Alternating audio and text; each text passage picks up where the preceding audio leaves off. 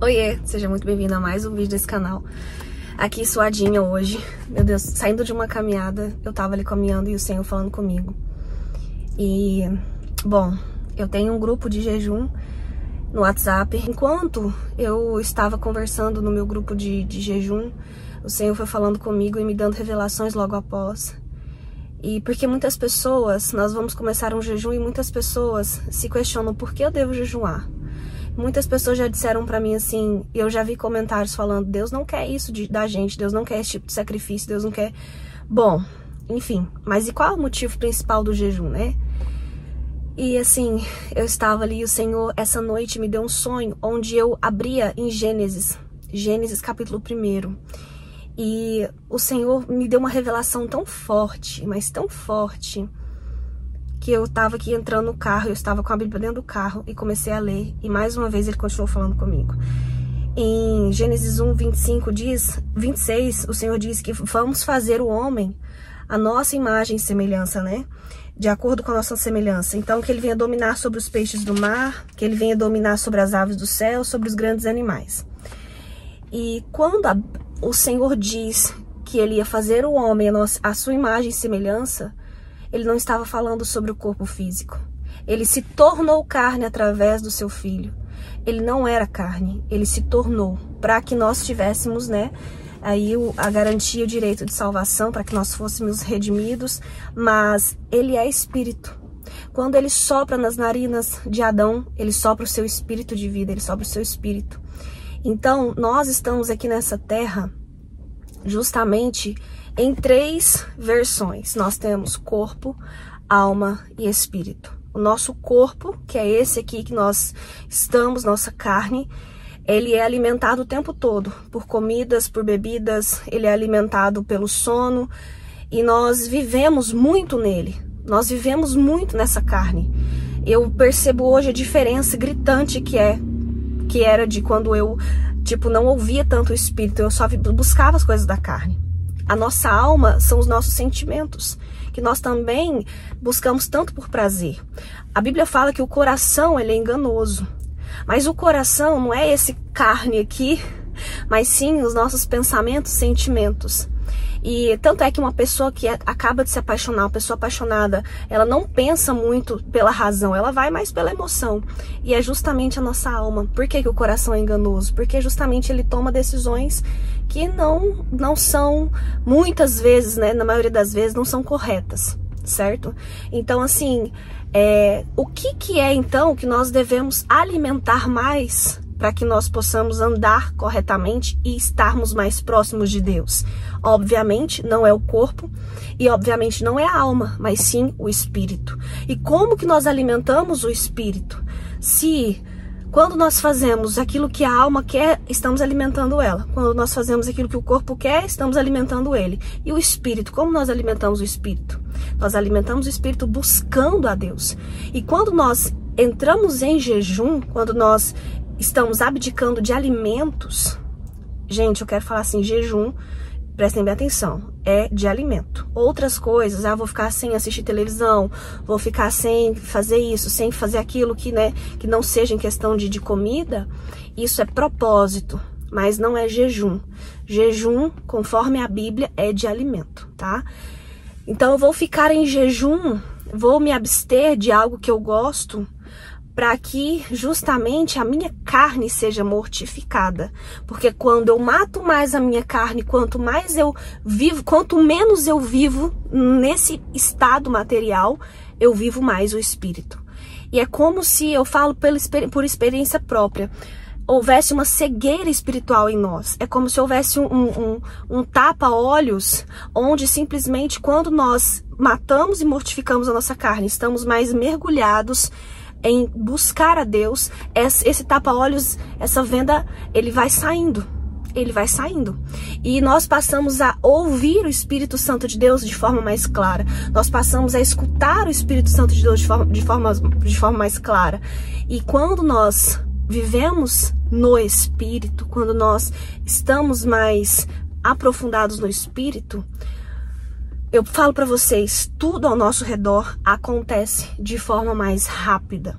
E não é só, então por isso que quando eu falo, vamos fazer jejum com o propósito do reino, de buscar o reino, como a, como a própria palavra diz, buscar primeiro o reino dos céus e as demais coisas serão acrescentadas, Deus não quer, não quer dizer que o resto, você buscar por uma casa, você buscar por um emprego, isso não quer dizer que não seja importante, mas quando você busca o reino, o resto se alinha, é como se fosse uma consequência entende? Eu falo por experiência própria. Então, assim, quando nós estamos alinhados com o Espírito, quando nós estamos com, a, com o tapa-olhos arrancados, o Senhor ele nos direciona sobre decisões a serem tomadas. Nós não agimos, nós não decidimos mais pela nossa alma, pelos nossos sentimentos. As pessoas que nós querem, que nós queremos ter ao nosso lado, não são mais por emoção, mas sim pelo espírito.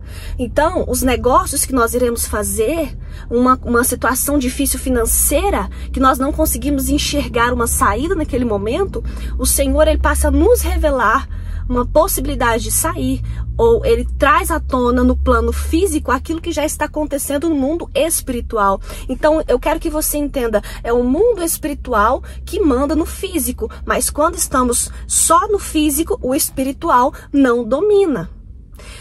O Senhor diz, olha que revelação incrível. Em Gênesis ainda, capítulo 1, verso 3, né? Disse Deus: haja luz e houve luz houve luz. Eu quero que você entenda essa revelação que o Senhor me deu aqui agora dentro do carro. Olha só. Disse Deus. É mediante a palavra dele, é mediante aquilo que ele fala. Ou seja, somente haverá luz, somente haverá clareza, somente haverá transformação quando a palavra dele existir sobre nós. E como é que a palavra dele existe sobre nós? quando nós damos abertura e espaço. E onde entra o jejum nessa questão toda, Julie? É necessário que nós venhamos orar sempre, é necessário que nós venhamos buscar sempre abdicar, renunciar. O jejum, ele é, como eu já falei em outros vídeos aqui, como se fosse um uma bomba. Você tá ali, você tá orando, você tá buscando, você tá, você tá correndo, né? Mas quando você, você tá correndo, quando você começa a jejuar, é como se você pegasse um carro e fosse numa velocidade muito maior. Então, o jejum ele vem para acelerar o processo de clarificar a sua mente, de clarear a sua mente, de, de trazer uh, o espírito e as coisas que vêm do espírito de forma mais forte, como se fosse realmente uma bomba atômica no mundo espiritual para sua vida. E a palavra do Senhor, ela traz luz. Ela traz luz. A palavra do Senhor, eu vou falar para vocês. Passei muito tempo lendo isso aqui. Minha vida inteira aprendi sobre as historinhas da Bíblia, conhecia todas as histórias, mas fazer com que ela fosse como uma espada de dois gumes que entrasse, penetrasse, transformasse, foi depois que eu entendi que eu precisava estar vivendo no Espírito e buscando cada vez mais no Espírito. As revelações só vêm dele. Então é quando o Senhor libera a sua palavra que há um clarear no mundo espiritual na nossa mente. Então, a necessidade do jejum é para que justamente você tenha essa visão espiritual aberta é para que você acelere justamente esse processo de ter mais, né, de, de fazer com que essa, essa, essa luz venha de forma mais rápida. E só que isso não quer dizer que seja fácil. É mais rápido, mas também um pouco mais difícil, porque o jejum, ele vai fazer com que dentro desse processo em que você estiver jejuando, você vai ser muito atacado. Primeiro começa antes de você começar o jejum. A escolha de você querer jejuar. Você luta muito, a sua carne luta muito, muita, luta muito contra aquilo. Eu estou aqui me preparando para entrar num jejum e meu corpo já tá assim, meu Deus, como é que eu vou fazer para ficar sem esse alimento? Como é que eu vou fazer para ficar sem isso, sem aquilo? Eu já tenho que me programar. Será que eu preciso mesmo tirar tal coisa? Porque o inimigo, o inferno lutando e a sua carne também rejeitando, ou seja, o espírito tá ali sozinho lutando contra, né, todas as resistências que estão aparecendo na, na sua mente, no seu pensamento, na sua vida. Então, isso não quer dizer que é um processo fácil. E durante o período do jejum, você está em guerra. Você está em guerra espiritual, onde muitas coisas ruins vão acontecer, onde muitas coisas o tempo todo vão ser lançadas contra a sua vida. Você vai se questionar, você vai pensar por que, que eu estou fazendo isso? Será que isso vai resolver mesmo? Na verdade, isso não é seu. São pensamentos que o inferno lança, né? Para justamente causar dúvida e fazer com que você não acredite, você não confie naquilo que Deus está fazendo na sua vida. Então, é, é um processo que é mais rápido, mas é um processo que é bem mais difícil. Então, só que assim, é através do jejum que nós quebramos muitas maldições e muitas coisas nas nossas vidas. Eu falo por experiência própria, porque sempre repito, em Mateus 17, onde Jesus Cristo diz que existem essa casta de demônios só sai com jejum e oração, ou seja, a oração por si só, sozinha ela não vai resolver. Tem que ter o jejum acompanhado. Então, nós precisamos jejuar. Nós precisamos jejuar. E por quê? Por causa de tudo, que, tudo isso que eu já falei para vocês. Bom, nós somos espírito. Nós somos mais espírito do que carne.